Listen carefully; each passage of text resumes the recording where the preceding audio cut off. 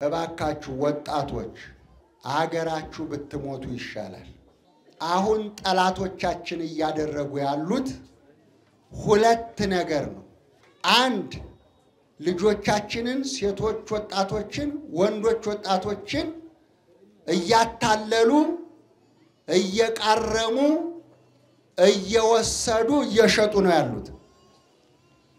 ሁለተኛ እንደገና እዛ ከሄዱ በኋላ ሊቢያ ሲደርሱ እየገረፉ እያሰቃዩ ቤተሰብ ገንዘብ እንዲከፍል እያሉ ደግሞ በድጋሚ ለሚያርዱን ለሚገርፉን ለደላላ ገንዘብ እየከፈልን ነው። ብዙ ሰው ነው አንድ ሚሊዮን ብር ሁለት ሚሊዮን ብር አምጡ እየተባሉ ነው። ባለፈው አንድ ሚሊዮን ብር ለምነው ነጠላ አንጥፈው ለምነው ብሩን ከተቀበሉ በኋላ ልጁን ገለውታል። ሁለት ጥፋት፣ ልጅም ማጣት፣ ዕዳም መግባት። ብዙዎቹ ባህር ሰምጥመዋል። ወደ ሁለት መቶ ሺህ ሰው ባህር ውስጥ ቀርቷል። ለመሞት ሀገራችን አይበቃም እንዴ? ሀገራችን እንሙት፣ ለምነን እንብላ፣ ሰርተን እንብላ። እግዚአብሔር ይመስገን እኛ የአረብ እንጀራ አልናፈቀንም። እዚሁ ድህነታችን ወርቅ ናት።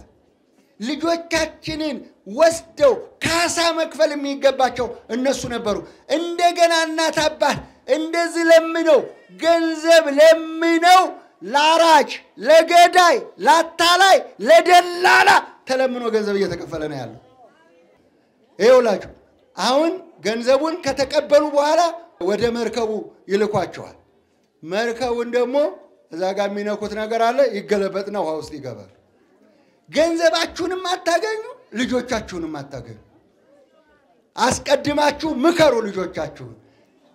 ምከረው ምከረው፣ እምቢ ታለ መከራ ይምከረው። እምቢ ብሏችሁ ከሄደ የራሱ ጉዳይ። ገንዘብ እንዳትለምኑ።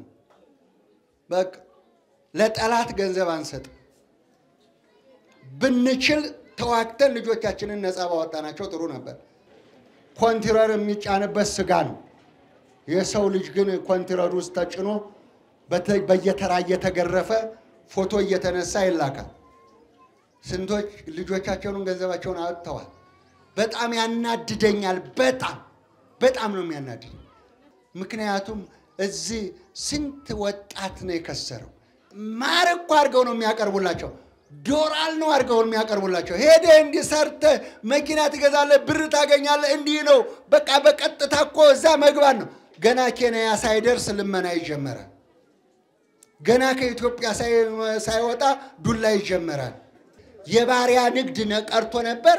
አሁን ግን ሰው እንደ እንስሳ እየተሸጠ ነው። እነዚህ ልጆቻችሁን የሚደልሉ ደላሎች የሀገር ጠላት፣ የሕዝብ ጠላት ናቸው። እወቋቸው። እሺ። እመቤታችን ቅድስት ልደታ ለማርያም ሆይ የተሰደዱትን በመከራ ያሉትን አንቺ የምታውቂያቸውን ልጆቻችንን ከጠላት እጅ አውጥተሽ ወደ አገራቸው መልሽልን፣ ተማጽነንብሻል። የሚሄዱትንም አስቁሚልን። ወላዲት አምላክ ጸሎታችንን ወደ ላይ ወደ ልጅሽ አሳርጊልን።